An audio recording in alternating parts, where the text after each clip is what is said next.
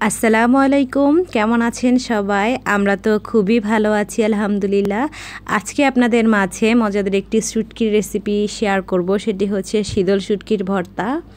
তো শীতল শুটকি ভর্তা বানাতে প্রথমে আমার লাগছে শীতল শুটকি, আর এখানে লাগছে শুকনা লাল মরিচ আর পেঁয়াজ। তো এখানে আমি তিনটা বড় সাইজের শীতল শুটকি নিয়ে নিয়েছি। এখন হচ্ছে আমি শীতল শুটকিটাকে ফ্রাই করে নেব। আর প্যানের মধ্যে অল্প একটু তেল দিয়ে হালকা ঢি মাছে নেড়ে চেড়ে খুব ভালোভাবে ফ্রাই করে নেব।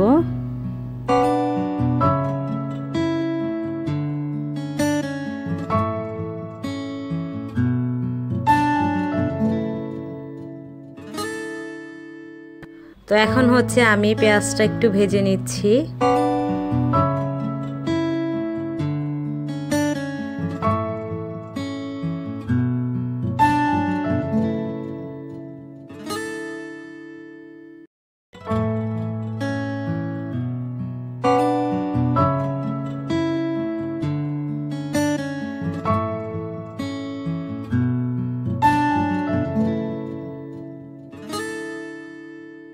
তো আমার পেঁয়াজ আর মরিচটা খুব ভালোভাবে পেস্ট করা হয়ে গেছে। এখন হচ্ছে আমি সব শেষে এর মধ্যে পেঁয়াজটা দিয়ে দিচ্ছি। আর পেঁয়াজটা আমি আসলে পেস্ট করব না। শুটকি ভর্তার ক্ষেত্রে যদি আপনারা পেঁয়াজটা এরকম একটু আস্ত আস্ত রাখেন আর সেটা যদি খাওয়ার সময় দাঁতের নিচে পড়ে, তাহলে সেটা অনেক ভালো লাগে। তো তো আমার ভর্তা বান্নাটা হয়ে গেছে। আর যেহেতু মরিচটা আজকে আমি ভেজে নেই নাই, তো আমার ভর্তাটা কি সুন্দর লাল হয়েছে।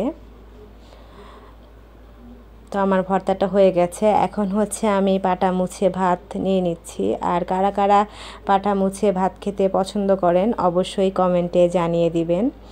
আর সব মিলিয়ে আজকের ভিডিওটি বা আজকের রেসিপিটা কেমন লাগল অবশ্যই জানাবেন। যদি ভালো লাগে তাহলে একটা লাইক করে দিবেন। আর সাবস্ক্রাইব করতে কিন্তু অবশ্যই ভুলবেন না। তো সকলে ভালো থাকবেন, সুস্থ থাকবেন। আল্লাহ হাফেজ। আজকের ব্লগটি এখানেই শেষ করছি। সকলের সুস্থতা কামনা করছি।